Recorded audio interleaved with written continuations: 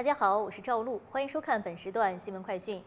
乔治亚州州长坎普周四宣布，该州进入紧急状态，以应对上周末亚特兰大爆发的一系列暴力抗议活动。坎普命令乔治亚州国防部动员一千名州国民警卫队士兵，在必要时制服骚乱和非法集会。现在已经有六人在抗议活动中被捕。紧急状态将持续到二月九日。上周末，在亚特兰大一个公共安全培训设施的建筑基地，警方执行清场期间开枪打死了二十六岁的活动人士特兰，令抗议活动升级。乔治亚州调查厅表示，特兰在被枪杀前开枪打中了一名州警。据报道，随着和平示威活动演变成暴力示威。一些示威者开始向建筑物投掷砖块，并点燃警车。亚特兰大市长迪更斯表示，一些人携带了爆炸物。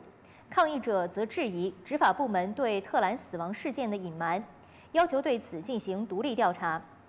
抗议活动团体名为“停止警察之城”，该团体几个月以来一直在抗议警方的培训中心。该培训中心于2021年获得亚特兰大市议会的批准。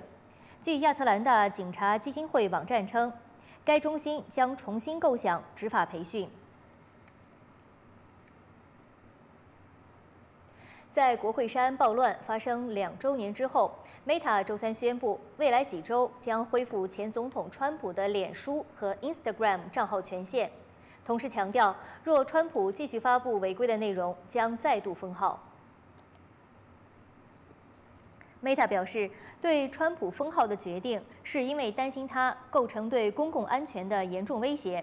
现在这一风险已经充分消退，足以让他返回平台，并且他的账号将在未来几周之内得到恢复。Meta 表示，川普在美国政治中扮演了一个显著的角色，让公众听到他所说的话是很重要的。但鉴于他过往的言论，他在这些平台上的行为将受到监控。如果川普发布更多违规的内容，这些内容将被删除，他将被封号一个月到两年。尽管川普在去年推出了自己的社交媒体平台“真相社交”，但是影响力有限。川普目前在真相社交拥有四百八十四万粉丝，远少于推特的八千七百七十万、脸书三千四百万和 Instagram 的两千三百四十万。美联社分析称。在川普的竞选活动中，会选择脸书的根本原因是钱。在利用脸书数字广告工具上，川普2016年的竞选活动堪称开拓者。他在2016年和2020年的竞选活动中花费了数百万美元用于广告，而这些广告对他的小额筹款活动至关重要。近日，新西兰最大城市奥克兰西部和北部暴雨成灾。当地时间二十七日，奥克兰因严重洪灾宣布进入紧急状态。在奥克兰西部，暴雨引发的洪水迟迟不退，民众需要涉水而行。消防人员协助受洪水围困的民众转移到安全地方。在低洼地区，一间超市被严重淹没，员工要坐在工作梯上暂避。奥克兰在十五个小时之内降雨量超过一百六十毫米，相当于当地夏天正常降雨量的百分之八十。多条马路出现大范围淹水，车辆无法通过。有正在行驶的公交车经过水浸路段，大量洪水涌入到车内。奥克兰机场客运大楼内外都出现了淹水，所有内陆和国际航班会取消到周六中午。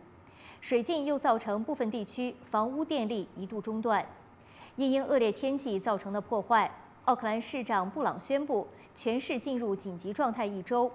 当地气象部门除了发布最高级别的红色暴雨警报，还有严重雷暴及强风预警，预料情况会进一步恶化，呼吁在容易发生水浸地区的民众准备撤离，其他人则尽量留在家中。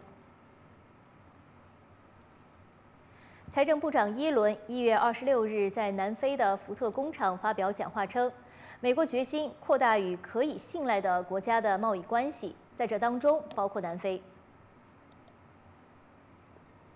路透社报道，耶伦为期两周的非洲之行进入第三站，他在福特位于普勒托利亚郊区的工厂发表谈话。耶伦表示，这间工厂是美国与非洲建立更紧密关系的典范，不但创造良好就业机会，更促进双方经济成长。福特是美国在南非的主要投资者，目前正斥资十亿美元，将当地工厂扩产百分之二十，新增约一千二百个工作机会，并计划建设一条货运铁路，通往一千多公里外的海港。耶伦表示，到了二零五零年。非洲人口将占全球人口的四分之一。